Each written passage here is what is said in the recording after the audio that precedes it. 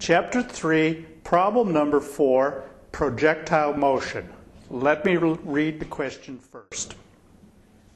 Romeo is chucking pebbles gently up to Juliet's window, and he wants the pebbles to, to hit the window with only a horizontal component of velocity.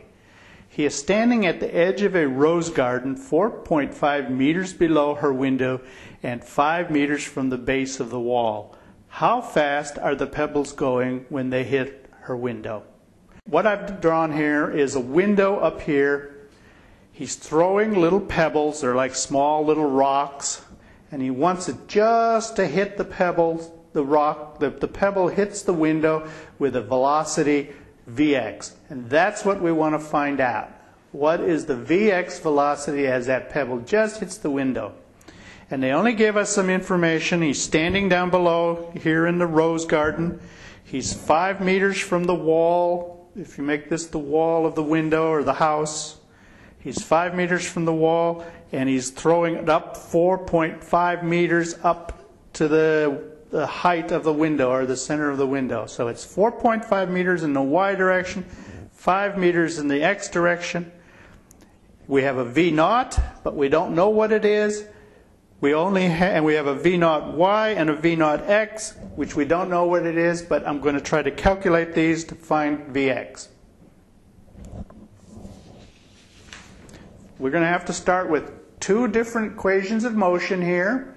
First in the y direction, we're going to use the third one. We haven't used that much, but this time we're going to use vy squared equals v naught y squared plus 2ay times y minus y naught.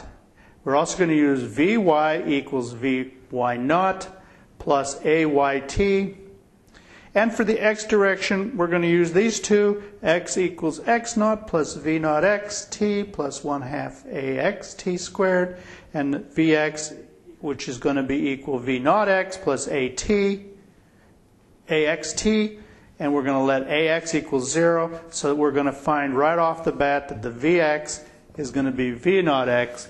I just want to show you that on the diagram.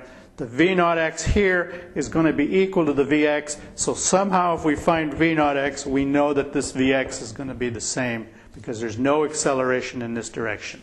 So let's proceed and, and solve this uh, uh, question. We'll start with that first equation of motion vy squared equals v naught y squared plus 2ay times y minus y naught. y naught's where we start, and that's going to be 0. ay is going to be a minus g for gravitation in the, in the down direction.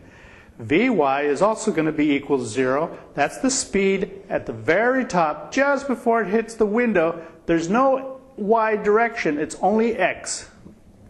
So we can rearrange, put this, you can see this goes to 0, and Vy goes to 0. So if we rearrange the solve for VOY, we get VOY equals square root of 2gy. Y was given as 4.5 meters.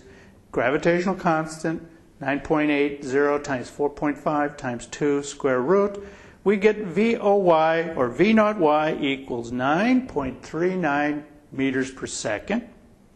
We'd plug that into our second equation because we want to find T. Vy equals VOY plus AYT. T is going to be, again, we have Vy up here is equal to 0, so this is going to go to 0. We're going to get VOY on this side, so it'll be minus and we're going to AY is going to be equal minus G, so the minus signs are going to cancel out. We got VOY from this equation, which we bring down here. So you got 9.39 divided by 9.8, so you get a time. Time is 0.958 seconds. That's how much time was the, the uh, flight of the pebble. And I'm not rounding off yet. We're going to carry that number forward. We're going to use the x equals x naught plus v naught t plus 1 half ax t squared. We know that vx is v naught x, and we know that always in horizontal flight, ax equals 0, x is 0, and x, x naught is 0, and x is 5 meters, which was given. So this reduces to 0, and the ax reduces to 0, leaving only this part of the equation left.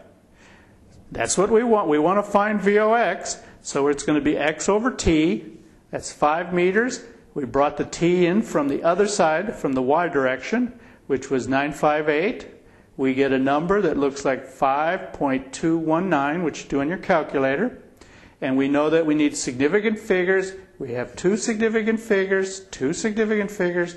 We reduce this down to two significant figures. So VOX is 5.2 meters per second. And that's what we were trying to find. VOX is equal to VX is equal to 5.2 meters per second.